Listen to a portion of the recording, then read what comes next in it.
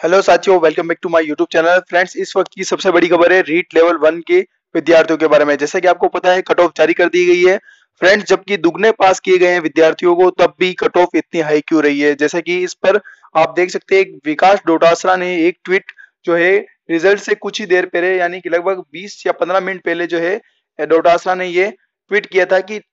Eighty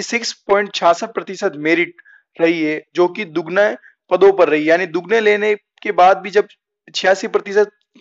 जो है cut off जा रही है, इसका मतलब जो है कितने बड़े स्तर पर जो है पेपर चोरी किए गए हैं? ये खुद विकास डोटासरा ने ट्वीट किया गया है। फ्रेंड्स जैसे कि आप खुद देख सकते हैं कि जब इतनी हाई मेरिट है 130 जा रही है मेरिट इसके बावजूद भी जो है अभी दुगने विद्यार्थियों को लिया गया है, जबकि ये भी फाइनल कट ऑफ़ नहीं है फ्रेंड्स इसमें लगभग पाँच से दस नंबर का अंतर आएगा, यानी लगभग पाँच नंबर तो प्लस करके चलते हैं आप।